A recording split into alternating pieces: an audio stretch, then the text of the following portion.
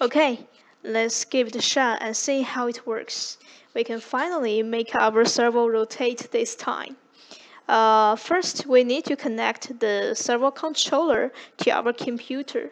All we need to do is to use this USB cable. We need to connect this USB cable to this USB port, just like this. And, and then we can open our PC software. Turn on the switch you can see the connection indicator turned green, indicating the connection is successful. And uh, because we are using number one servo and number two servo, so we can first choose English and uh, we can choose none button. We click the number one box and the number two box and then put them into a line just like this so that you can see clearly. And this one corresponds to this servo. And this one, this number two servo icon corresponds to this servo as you can see.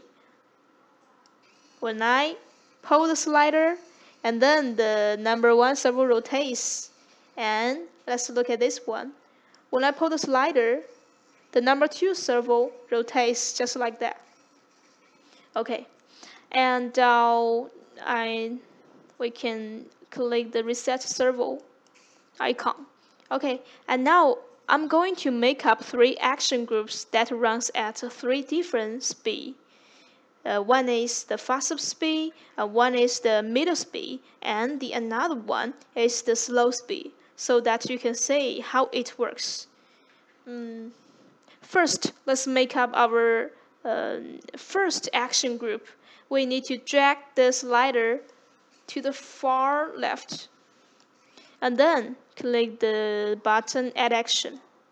You know, this is our action time uh, and one uh, 1000 milliseconds equals 1 second. So we can change this time to 300 and that is 0.3 second and, and click this button update action.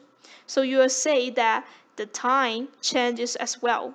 Okay, and then we can drag the slider to the far left or far right, just like this. Add action and drag the slider to the far left. Add action. Okay, and we make up our number one action group. We can see how it works click this button run online. Yes, it's too fast to just say it again. Okay, and this is the action group we just added. We can save this action group to number one. Yes, to number one action group. And you will see that we can download this number one action group to number zero action group. Just download. And the buzzer make a sound of beep to tell you, just to tell you, you know, the, the download is successful.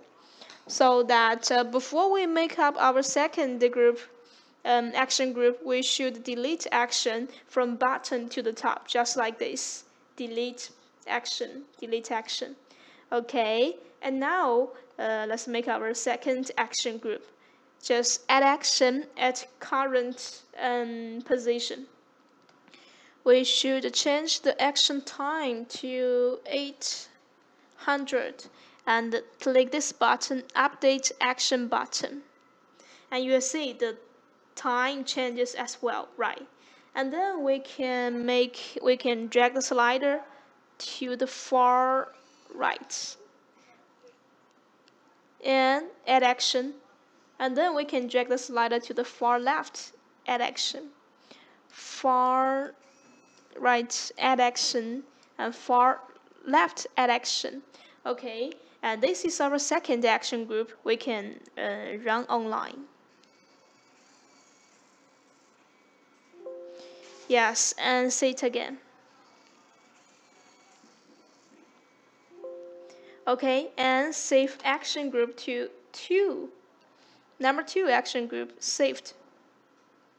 And download this action group to number one action group. Click this download button. And you will hear the buzzer make sound of beep to indicating you that the, the, the download is successful. Okay and then we need to de delete action from button to the top just like this. Okay and the next one we can uh, have it run at the the slowest speed. Add action at current position. Change the action line to 1600 and update action. Then the time is 1600 as well. And we should and we can drag the this one to the far right. Add action and this one to the far right add action.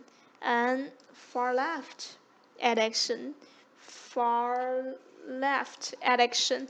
Okay and now we can see how it goes how it works. It is a little bit slow actually. Very slow. Once again.